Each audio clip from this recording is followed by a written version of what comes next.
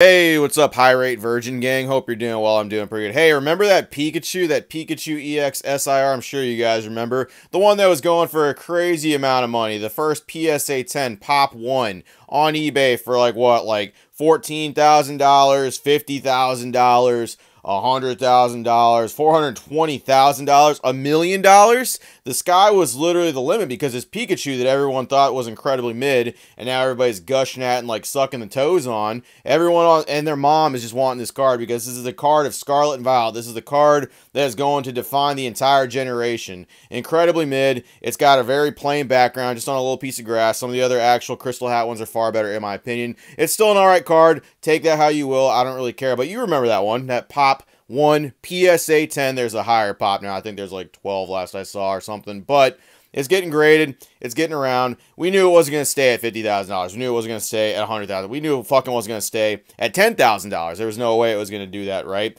Well, it was addressed. The actual person who was running that auction, I did actually talk to them. It was JNC Collects. I believe that's who it was that was actually talking about. They were very nice about the whole thing. They were able to actually remove a bunch of the obviously fake bids, and they actually did end up selling the card for an amount that is still incredibly high. Definitely not that ridiculous amount, but what we got right here is we got the final amount this card right here sold for. It looks like it made it all the way up to $3,400. So the sales tax, so that's going to be 3700 All them fees, taking away all that stuff. And then the gentleman did actually donate to charity, 680 bucks from the actual listing went towards a charity. Very nice, you big dog, right there. So all in all, the card sold for $3,400 for that nice Pikachu. Look at him right there. Ever since, it has been selling for about similar amounts right there. We had one that sold for $3,100, about $300 less. We had one go for $2,857, but it was slashed through, so they probably had a smaller amount that they actually agreed to. It's probably like maybe $2,500 if I had to guess.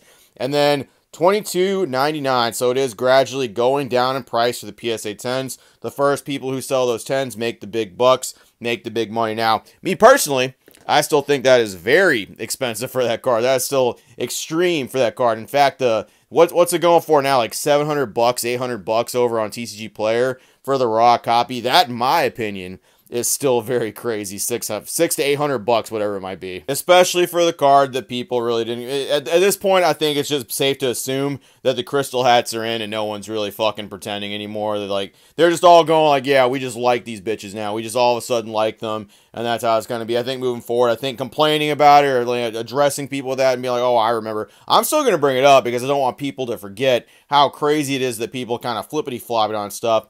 But at the same time, that's going on. That entire fiasco is going on. A bunch of other cards are kind of doing weird things. Has everybody forgotten about this card right here, the Umbreon VMAX? That sucker's doing some weird things right now too. It's going up for like 13 to 1400 bucks. It's been steadily increasing. The Japanese equivalent, I think now raw is slightly cheaper than the Japanese one the last I saw. So that that's kind of a crazy thing because for the longest time, the Eevee Heroes one, the actual Japanese alternate art Umbreon VMAX was selling for more. It was fetching a higher price. And it kind of just seems like the English market has taken over. I don't personally care either way. It's just something interesting to note about that whole thing. I don't necessarily know if it's always going to stay that way. We'll see Evolving Skies is doing some crazy stuff. People are still going crazy. People are still hunting for Evolving Skies. People are still hunting for 151. People are still hunting for like Sun and Moon sets. People are still going after Silver Tempest. Fusion Strike, you name it. People are still going after all that stuff. And it's definitely a time where people are going to be a little bit more loosey-goosey with their money right this second. Pokemon is definitely on the up and up. There's a lot more faces coming here. There's a lot more boots on the ground. A lot more people stepping into it. And a lot of people feel like this is a good place to actually dump their money into. A lot of people are actually going to start dumping more things into whether it's YouTube content, where they're buying a bunch of boxes, whether they're buying a bunch of singles, whether they're doing a bunch of slabs. It, it's just kind of going to go all over the place right this second. English is going to be a very weird thing for a little bit. I'm not even going to lie to you. I mean, I've already talked about a good little bit with the boom. English is going to be doing some weird things for a little bit. I'm not even going to lie to y'all. Like, I'm not going to say it's going to be like crazy, stupid, wonky all the fucking time, but it's going to do some weird things. You're going to watch some SAR or SIR cards that previously sat for a long time, not really moving, you're going to see some of them kind of start creeping up. You're going to see some people kind of pushing more towards certain things for a little bit. And you're going to watch some slabs kind of do some wonky things as well as people start grading more of that stuff. People start making excuses for English quality to justify more things. And it's really going to be strange watching how this stuff kind of rises. It happened when the uh, Sword and Shield era It happened in the Sun and Moon era. It happened with a lot of alternate arts, full art trainers, and some of the older cards that people just kind of latch to. And it, it's going to be kind of strange. And some of the cards aren't going to make a whole lot of sense. Some cards are going to make some sense, but at the same time, I really wouldn't be too shocked if some of the actual like top pulls from sets further back start to climb up a little bit, especially if people can secure some PSA 10s in that English status.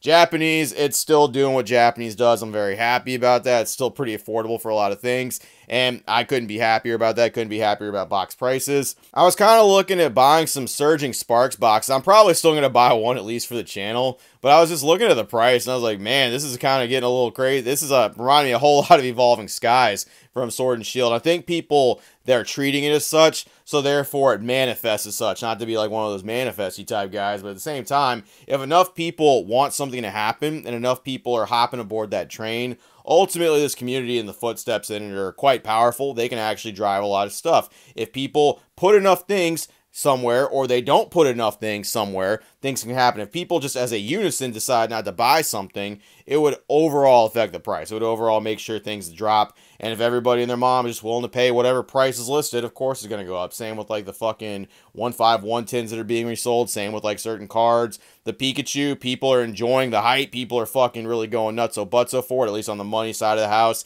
And people that are lucky enough to pull it. And everybody else is just kind of sitting there looking at it like, man, I, I mean, it's an all right card. I don't know if it's fucking seven hundred dollars, all right, but at the same time, that what be what it be. I guess that's uh, the power set shall be. I don't know. It's a fucking three thousand four hundred dollar slab, but who are we to decide? We just live in the space and fucking swim in the same pool as everybody else. It's just it's a little funny. It's one of those weird things, but yeah. Fifty thousand dollar Pikachu sold for three thousand four hundred. Homie did donate to charity. It's very nice of you. Just thought I'd give you a little update on how the whole thing ended. It was definitely being shilled by people from certain discords and definitely from fucking Reddit, just hopping on there, little Reddit trolls coming over and having a good old time with the shills, having a good old fun time. Should have known when I got to 42669. That's uh that's usually this telltale sign. That's all I got. Appreciate it, version gang. See you later. Pikachu hype. Yeah, Pikachu's. Pikachu's everywhere. They're just I don't know. Everyone forgot about Umbreon and Moonkitty, but not for long. Not for long. Not if fucking Prismatic and Terrestrial has something to say about that. Whew, it's gonna be crazy times. Good old storm a brewing.